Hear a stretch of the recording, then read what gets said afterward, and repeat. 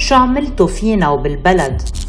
الوضع الاقتصادي منهار الوضع الاجتماعي الصحي البيئي المعيشي منهار الوضع الأمني منهار علاقات البلد الدولية منهارة.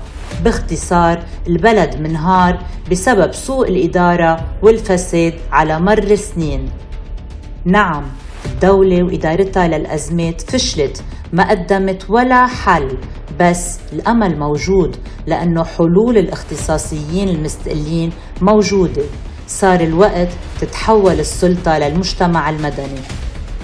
بدكن حصص بدنا بلد.